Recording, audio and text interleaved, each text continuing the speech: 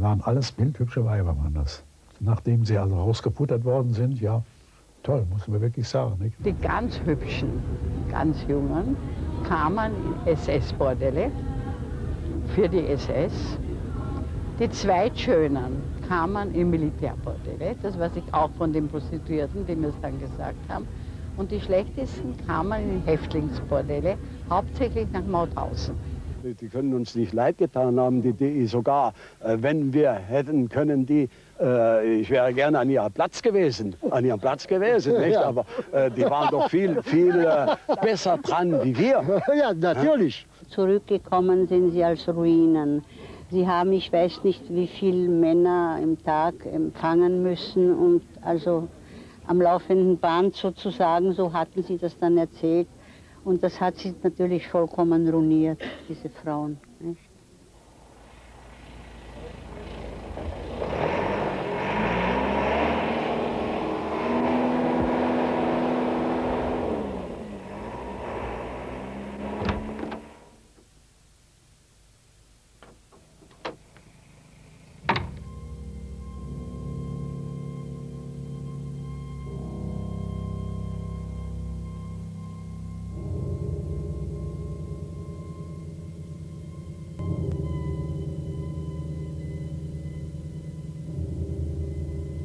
Mauthausen. Noch heute steht hier die Baracke des ersten KZ-Bordells, Überreste einer vergessenen Geschichte. 33.000 deutsche Frauen wurden von den Nationalsozialisten zur Prostitution gezwungen. Sie waren zwischen 20 und 30 Jahre alt und Gefangene des Nazistaates, ausgesucht im Frauenkonzentrationslager Ravensbrück. Eine der wenigen überlebenden Zwangsprostituierten ist Annie Kramer. Die 82-Jährige lebt heute in Hessen. Sie möchte unerkannt bleiben. Ich habe nie mit jemandem darüber gesprochen, weil ich mich geschämt habe.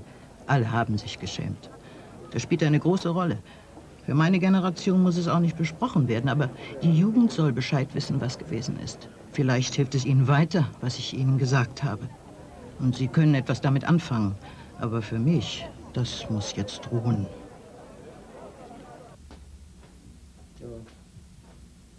Gerda Brendel ist heute 76 Jahre alt und lebt in einer kleinen Sozialwohnung in Hamburg. Lange hat sie über ihre Vergangenheit geschwiegen. Niemand hat ihre Geschichte gekannt, niemand wollte sie kennen. Kaum eine der überlebenden Frauen hat geheiratet. Auch Gerda Brendel lebt bis heute allein. Sie ist die erste, die mit ihrem Schicksal als Zwangsprostituierte an die Öffentlichkeit geht. Also woher ich die Kraft nehme, ich habe etwas in mir, was sich wehrt. Ich muss mich wehren, weil ich weiß, heute kann ich mich wehren. Damals musste ich den Mund halten, musste stillschweigen. Heute sage ich, mir brauche ich das nicht. Ich kann den Mund aufmachen und kann mich verteidigen. 昨日に続いて慰安婦問題です今日はこれまで明るみに出ていなかったドイツの慰安婦を取り上げますそれは毎日毎日です夏も冬も Ihr erstes Interview gab sie 1991 im japanischen Fernsehen. Das Schicksal von Zwangsprostituierten ist in Japan inzwischen zu einem Politikum geworden, während hierzulande das Thema nicht zur Kenntnis genommen wird. Ich finde auch interessant oder neugierig, warum in Deutschland äh, sie äh, noch nicht interviewt wurde oder in Deutschland kein Interesse geweckt hat. Seit 1991 ist das Thema Zwangsprostitution in Japan sehr ein heißes Thema gewesen. Und damals wussten wir nicht, dass sowas in Deutschland gab. Und wir haben immer gedacht, dass solches äh, System nur in Japan oder nur in Asien gibt, gab und nicht in Deutschland. 200.000 Koreanerinnen wurden im Zweiten Weltkrieg von der japanischen Armee in Militärbordelle verschleppt. Jahrzehntelang haben die Frauen geschwiegen, aus Scham von der Gesellschaft ausgegrenzt. Seit drei Jahren demonstrieren sie jeden Mittwoch vor der japanischen Botschaft in Korea.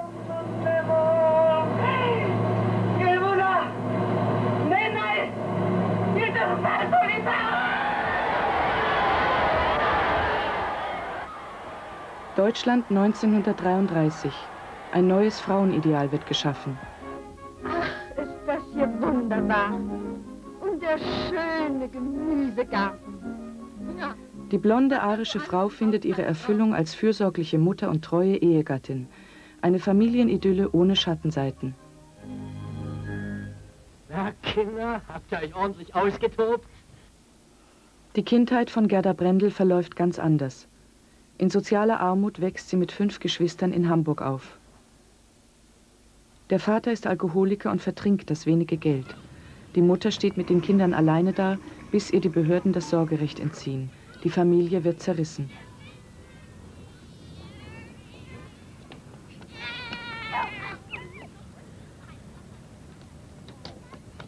Gerda ist erst neun Jahre alt, als sie in ein Kinderheim wie dieses kommt. Für viele Jahre ist sie in solchen staatlichen Fürsorgeanstalten eingesperrt. Mitte der 30er Jahre werden das Mädchen Gerda und ihre beiden Schwestern zwangssterilisiert. Zu Männern hat die Heranwachsende keinen Kontakt. Ich war doch nur eingesperrt. Woher sollte ich jemanden kennenlernen? Das gab's gar nicht. Es war unmöglich. Wir durften ja noch nicht mal die Männer angucken. Was sollte ich für einen Begriff haben? Meine Eltern haben mich nicht aufgeklärt. Meine Mutter schon gar nicht. Und mein Vater war ja nie da.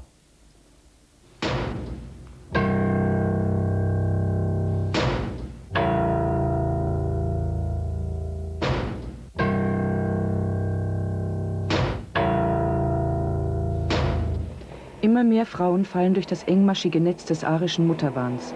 Die NS-Kategorie asozial wird beliebig verwendet. Nachtschwärmerinnen, Prostituierte und Individualistinnen, sie alle werden weggesperrt, gekennzeichnet mit dem schwarzen Winkel. Juni 1941. Der Reichsführer SS Heinrich Himmler besucht das KZ Mauthausen. Für den totalen Krieg müssen alle Arbeitskräfte mobilisiert werden. Himmler befiehlt die Einführung eines dreistufigen Prämiensystems. Die dritte Stufe muss in jedem Lager die Möglichkeit sein, dass der Mann ein- oder zweimal in der Woche das Lagerbordell besucht. Dieser ganze letzte Komplex ist nicht übertrieben schön, aber er ist natürlich. Und wenn ich diese Natürlichkeit als Antriebsmittel für höhere Leistungen habe, so finde ich, dass wir verpflichtet sind, diesen Ansporn auszunützen. Heil Hitler!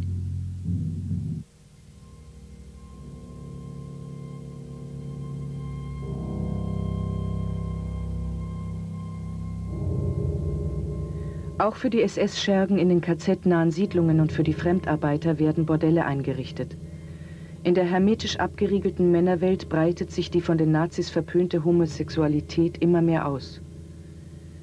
Die gleichgeschlechtliche Neigung von Aufsehern und Gefangenen ist unter den Häftlingen ein offenes Geheimnis. Die, die Lagerschutz, die haben meistens waren zu zwei gewesen äh, äh, les Enculés, wie wir das nennen. Das sind die Arschficker. Das können Sie aber auch, wir wissen auch, was es ist. Da war immer einer, da war der Mann, der andere war die Frau, nicht?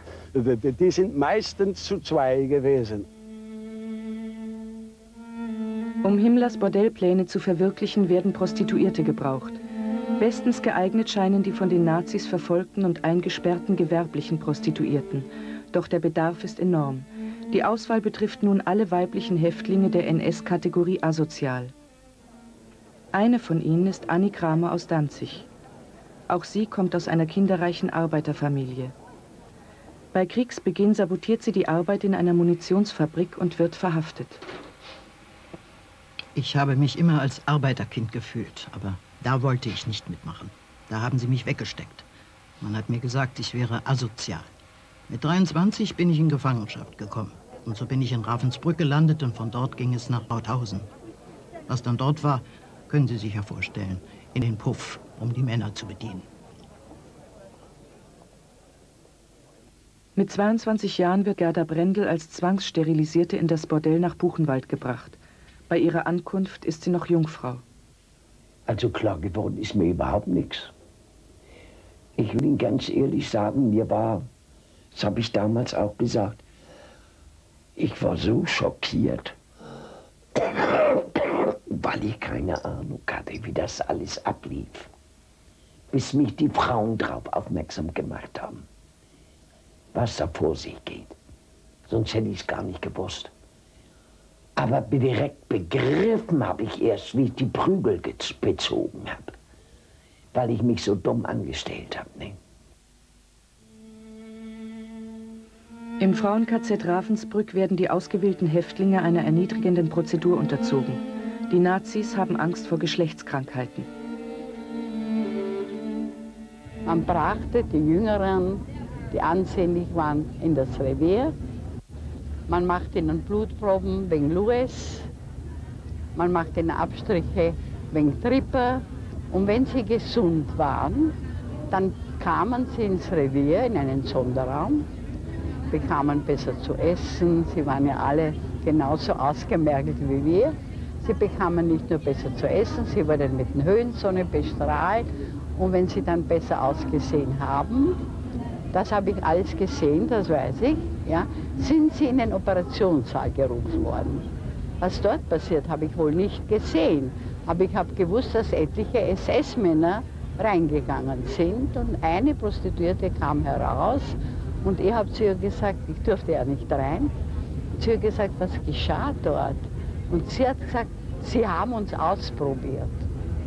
Wenn wir ins Lager gekommen sind, mussten wir uns ausziehen und alles hergeben und dann waren wir keine Frauen und Menschen, dann waren wir Nummern, nicht?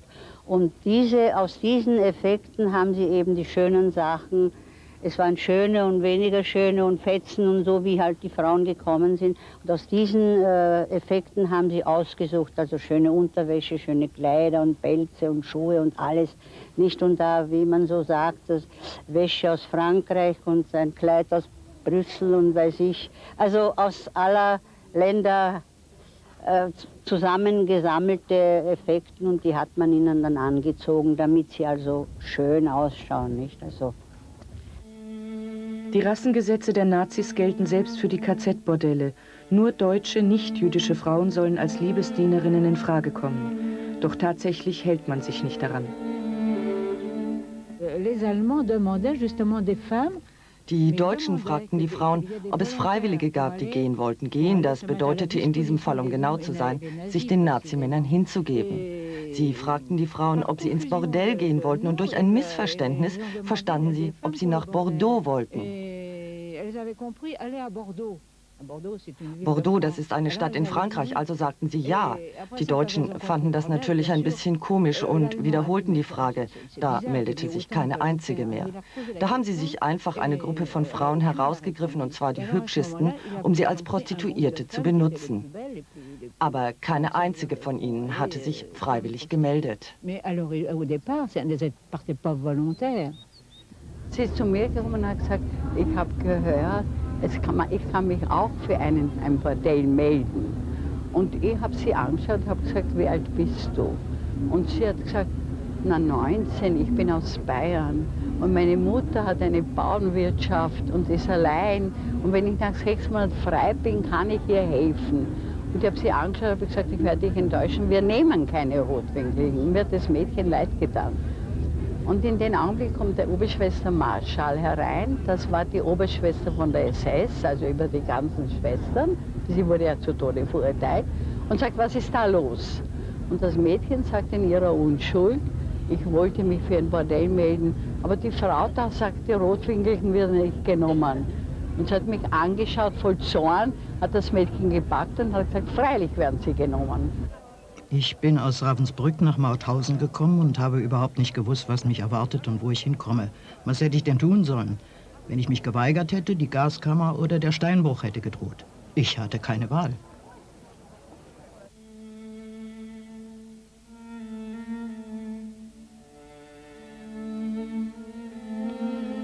Oft werden ganze Familien in verschiedenen Konzentrationslagern eingesperrt. Die Angst um die Verwandten ist groß. Ich hatte meinen Vater in Buchenwald. Hm? Da habe ich mir gesagt, na, der wird doch nicht sowas machen. Und äh, als wir uns dann nach 45 wiedergesehen haben, hat mein Vater gesagt, als die ersten Frauen bei uns ankamen, da habe ich einen solchen Schock gekriegt. Da habe ich gedacht, wenn man die Frauen dazu zwingt, wenn die jetzt deine Tochter nehmen, hm?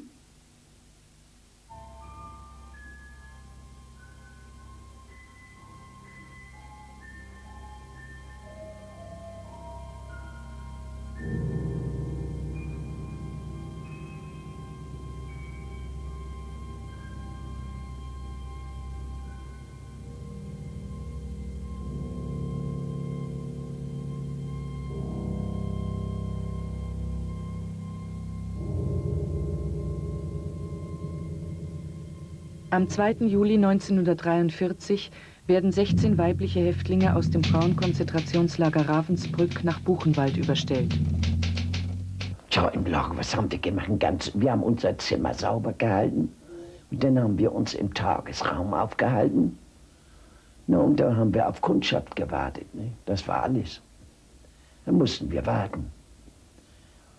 Ja, und gemeldet haben sich immer welche. Tag oder Nacht. War immer Betrieb.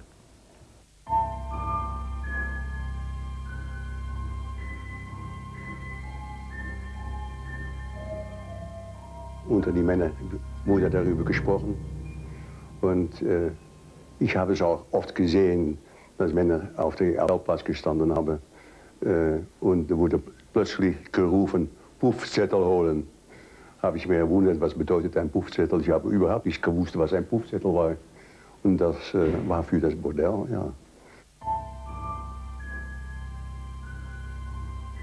Der Häftling hat sich bemüht, vorher sich ein bisschen schön anzuziehen, mit die, die paar Haare, die er hatte, noch ein bisschen mit Fett einzuschmieren, sodass es scheint, als ob er noch etwas äh, bedeutete. Äh, ist er reingegangen und hat da getan, wofür er bezahlt hat und was für ihm erwartet wurde.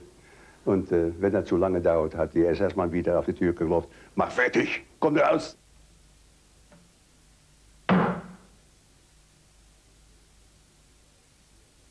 Da wurde überhaupt nicht gesprochen. Überhaupt nicht. Mit dem, man war noch nicht mal in der Lage, nach, übers Wetter zu reden. Die Möglichkeit besteht gar nicht. Nein, nein, nein, das war so trist und so absurd. Es war katastrophal. Man kam sich vor wie eine Maschine.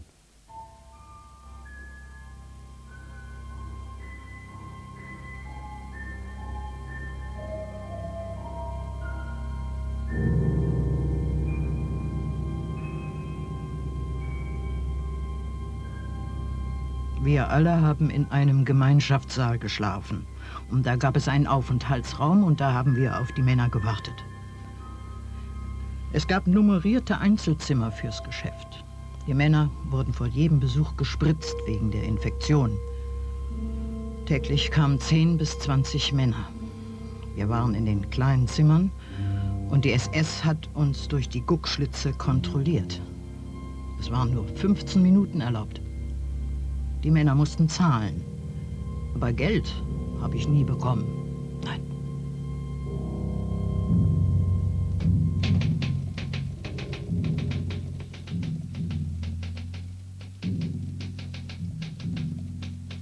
Der Nazistaat als Zuhälter. Akribisch genau wird über Jahre täglich Buch geführt.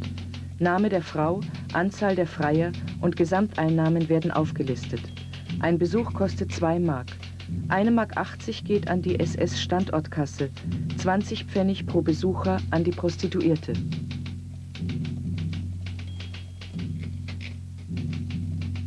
Haben Sie Geld bekommen für Ihre, Für was? Für, für Ihre Na, Tätigkeit? Das wäre aber dann wegen eine vermögende Frau geworden. Hm. Nee, weil es gab wohl Oh. zehn Pfennige oder so. Ach was, Nichts, Sie haben nichts gar bekommen. nichts, im Gegenteil.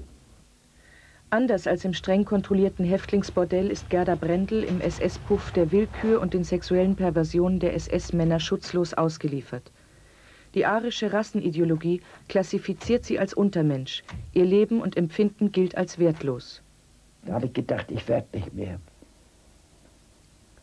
Habe ich gedacht, das gibt keinen Herrgott, der sowas zulässt. Weil das ja, das waren ja Deutsche genauso wie ich. Die waren ja so unmöglich veranlagt, das kann man gar keinem erzählen. Da muss man sich schämen, dass man dafür ausgenutzt wurde. Da muss man sich heute noch für schämen. Und das ist ein Punkt, da komme ich einfach nicht mit zurecht. Ich begreife das nicht. Ich begreife das nicht. Warum? Warum?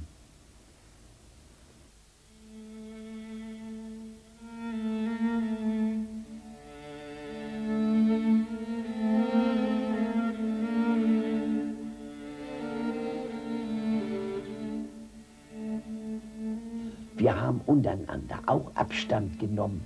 Wir hatten doch Angst, dass wir verraten werden.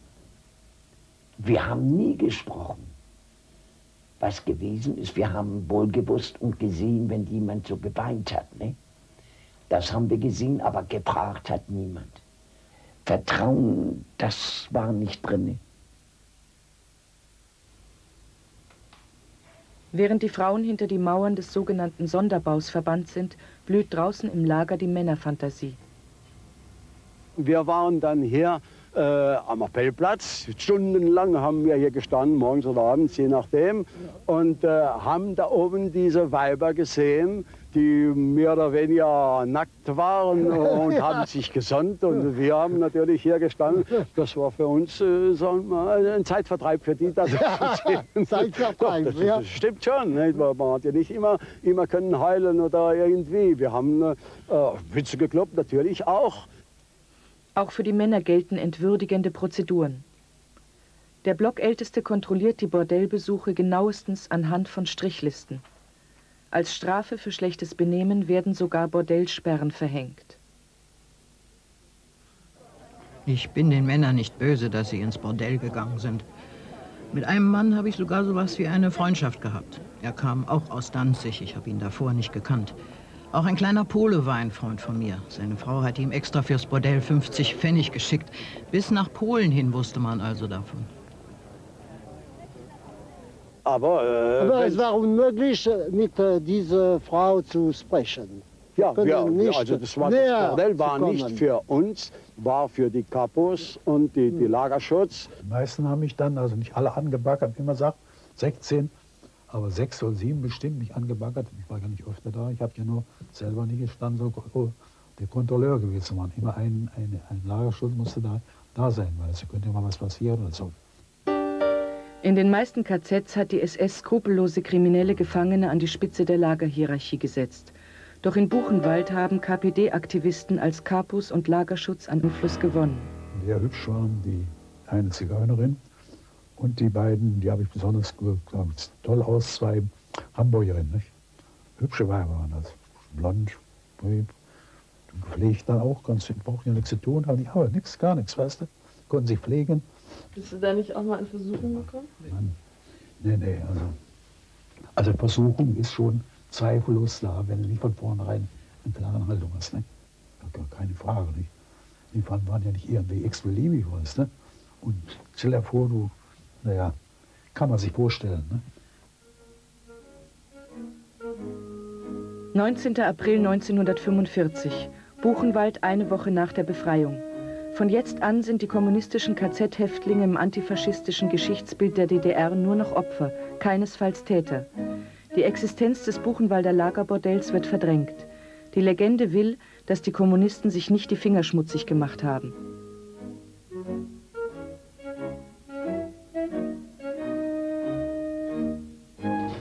Doch die Wende öffnet die Giftschränke der DDR-Parteiarchive. Zutage kommen bislang unbekannte Dokumente. Die Verhörprotokolle der KPD aus dem Jahre 1946 beweisen, dass die Genossen den Puff besuchten. Ich muss gestehen, dass ich selbst zu den Bordellgängern gehörte. Das war eine Schwäche von mir. Als Lagerältester sollte ich hingehen. Ich gestehe, dass ich da auch mit Mädels verkehrt habe. Mir persönlich kam es weniger auf Torten und andere Dinge an, welche ins Bordell geschafft wurden, als dass bei den Orgien, welche dort gefeiert wurden, keine politischen Dinge ausgeplaudert wurden. Der prominenteste Fall ist das KPD-Mitglied Ernst Busse. Er hat enge Beziehungen mit den Frauen. Als roter Capo im Krankenbau wohnt er sogar mit einer Prostituierten zusammen. Nach dem Krieg wird dem damaligen Innenminister von Thüringen seine Vergangenheit zum Verhängnis. Er fällt einer Säuberungsaktion zum Opfer. Die Vorwürfe führen zur tödlichen Deportation in den Gulag. Einem politischen Genossen musste es klar sein, dass so ein Bordell zu bestimmten Zwecken eingerichtet wurde, nämlich zur Bespitzelung. Die Beobachtungslöcher wurden von der SS kontrolliert. Der zweite Grund war, dass hierfür Frauenhäftlinge aus dem KZ Ravensbrück geholt wurden, denen man nicht gesagt hatte, wozu. Darunter befanden sich Mädchen, die sich nie dazu verwenden ließen. Ja, nachdem sie ihre Zeit dort abgebüßt hatten, kamen sie wieder nach Ravensbrück und es dauerte aber gar nicht allzu lange, wurden sie entlassen. eins ist mir noch ganz genau in Erinnerung, dass sich Aufseherin Zieger furchtbar aufgeregt hat, dass sie von dem, weshalb sie verhaftet wurden, nämlich von der Prostitution, nicht abgelassen haben. Im Grunde genommen habe ich ihr eigentlich so ein bisschen recht gegeben. Der schwarze Winkel muss schon zurecht gewesen sein. Hm? Sogar bei ehemaligen weiblichen Mithäftlingen prägen gesellschaftliche Vorurteile das Bild der Zwangsprostituierten. Von allen Seiten wird den Frauen unterstellt, sie seien selber schuld an ihrem Schicksal gewesen. Der Beginn des großen Schweigens. Gerda Brendel wird nach zweijährigem Martyrium aus Buchenwald entlassen. Als Folge der sexuellen Misshandlungen muss ihre rechte Brust amputiert werden. Ich habe mich gefühlt, dass wir ihn sagen, direkt gestraft. Gar nicht als Frau. Gar nicht als Frau. Gar nicht. Dann sind das wieder Dinge, äh, die machen man mit den Außenstehenden nicht besprechen. Da sage ich mir, wenn man denen das erzählt, die sagen glattweg, man lügt oder, oder äh, man wird das Lügen bezichtigt. Und das kann ich auf den Tod nicht ab. Das kann ich nicht ab. Ich habe darüber nie gesprochen. Es wissen nur Teile meiner Familie, was geschehen ist. Meiner Mutter zum Beispiel habe ich nie gesagt, was gewesen ist. Auch meine Kinder wissen nichts. Es sind meine Stiefkinder. Eigene Kinder konnte ich danach nie wieder bekommen. Doch auch die meisten Gedenkstätten wollen von diesem Teil der KZ-Geschichte nichts wissen. In Buchenwald sind bis heute keine Hinweise auf die Spuren des einstigen Häftlingsbordells zu finden. Zum 50. Jahrestag der Befreiung wurden alle ehemaligen Häftlinge eingeladen. Gerda Brendel wurde vergessen. Nur dem Mut weniger Frauen ist es zu verdanken, dass jetzt erstmals das Schicksal der Zwangsprostituierten einer breiten Öffentlichkeit bekannt wird. Vorurteile, Desinteresse und politischer Dogmatismus haben bisher verhindert, dass sie als Opfer des deutschen Faschismus Erwähnung fanden.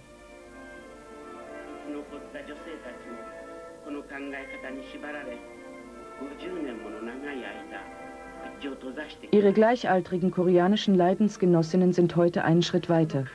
Erst die öffentliche Diskussion ermöglichte, dass sie ihre Vergangenheit offenbarten.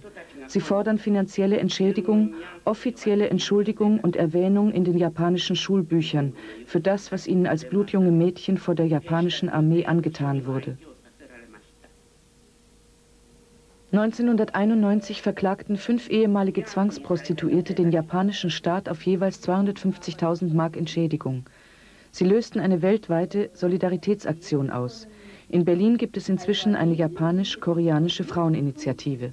Wir müssen unbedingt äh, diese Frauen helfen. Die sind ja schon mittlerweile über 70 und viele sind ja gestorben und, und sie sind meistens auch sehr krank und die haben auch keine Familie und die sind auch nicht verheiratet, auch Schamgefühl, auch die sind auch von der Familie auch äh, nicht mal äh, so aufgenommen worden oder sind überhaupt nicht äh, in die Familie zurückgekehrt.